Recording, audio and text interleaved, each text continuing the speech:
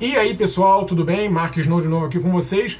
Vamos falar lá de novo, né, sobre algumas dicas aí para o guitarrista iniciante com os contatos que eu deixo aí né, no meu canal, né, o, o WhatsApp, tem muito guitarrista que chega para mim, né, o moleque que tá começando, fala: "Mark, como eu posso corrigir, né, os barulhos que saem da minha palhetada, né? Na hora que eu palheto, né, eu esbarro muito em outras cordas. Então o que que acontece? Eu falo pro cara: "Centra a sua palhetada, não deixa a mão solta. Às vezes o cara até me manda, né, um, um um vídeo falando isso, né? Mostrando, ó, oh, Mark, tá assim. As músicas que eles vão tentar mostrar são sempre as mesmas. Sweet Child of Mine, é, Farewell Ballad, Crazy Train, é, Seek and Destroy, coisas que não são tão difíceis, né? Mas o que, que acontece? O guitarrista ele tá com aquela mão mole, né? Então você tem que parar para pensar o seguinte: riff é diferente de base. A base você pode soltar a mão,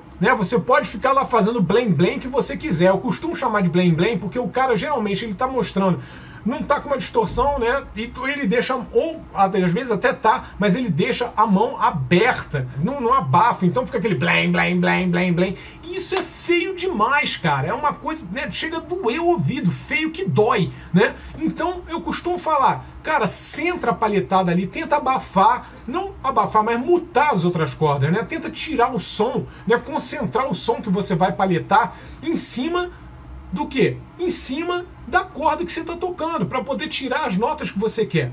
Uma outra coisa que atrapalha também é o moleque chegar, pegar aquela guitarrinha que ele comprou e ele não regular. Então a guitarra está cheia de chiado. Ele coloca aquele chiado, né? A música sai chiado, vai às vezes ele tira, fica aquele humming, né, suando, né? O hum, hum, aquela coisa. Se ele encostar para, mas quando ele tira, fica suando. Então se ele não abafar na parte que ele desencosta das cordas, fica aquele barulho suando, né, do ramo. Outra coisa, tipo assim, que o moleque tá iniciando, ele tá lá com o amp, tá felizão dentro de casa, ele quer tochar o amplificador no 10, no talo. Então o que que acontece? Aquilo acaba, tipo assim, um amplificador de baixa qualidade, ele acaba chegando, né, ele compra um amplificador pequeno, 10 watts, 15 watts, ele tasca aquilo no, no, no, no, talo porque ele quer que o som saia alto. E geralmente são os amplificadores horrorosos, né? Sheldon, mais marca que, porra, sei nem o que, que é isso, nunca ouvi falar disso. Mas, tipo assim, já vi uns amplificadores bem esquisitos e o cara, porra, falante ruim. Uma caixa pequena. O cara quer botar alto aquilo, ele começa tá, tá, tá, tá. Acaba, pum, estourando e começa a dar o rame, aquele fuzz ali horroroso. Então junta essa coisa toda e dá aquele som feio demais, feio que chega a doer o ouvido. Então, cara, toda vez que você for tocar, né, o guitarrista iniciante, toda vez que for começar a tocar, repara nessas coisas, né? Você não é obrigado a colocar um amplificador no talo para você poder tocar, você pode treinar baixo, principalmente porque você está começando, então você vai fazer o quê? Você vai acabar fazendo com, com que aquilo ali enche o saco de todo mundo. Então, toca baixo, outra coisa.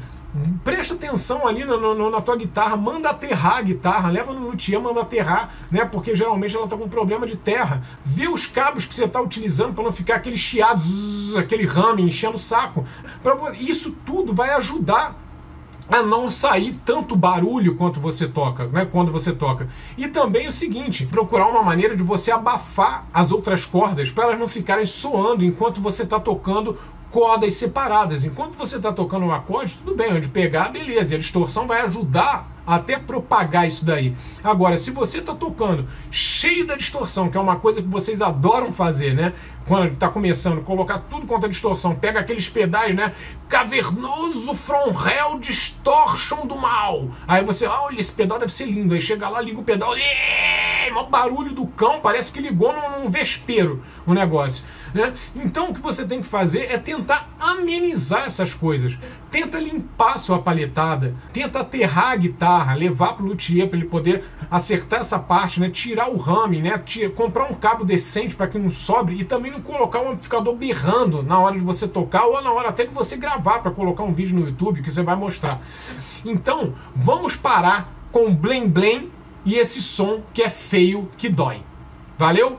Um abraço, tamo junto, guitarristas do bem.